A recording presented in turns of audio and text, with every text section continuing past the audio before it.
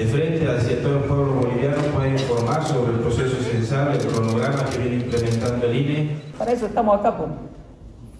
Si no, ¿para qué? Posturas políticas, mezquinas, que nos estén confrontando, yo conmigo no va eso.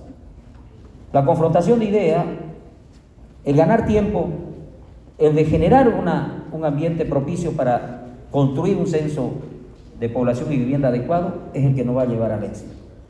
Quiero, señor ministro, a través de esta carta hacerle llegar, aquí está firmada, por favor, esta es una propuesta que hacemos llegar para que sigamos avanzando.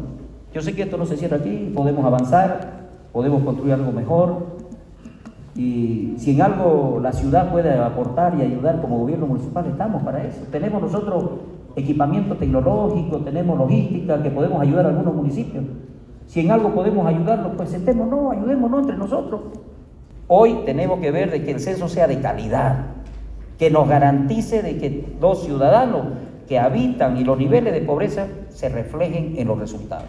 Caso contrario, vamos a seguir viviendo lo que hoy estamos viviendo.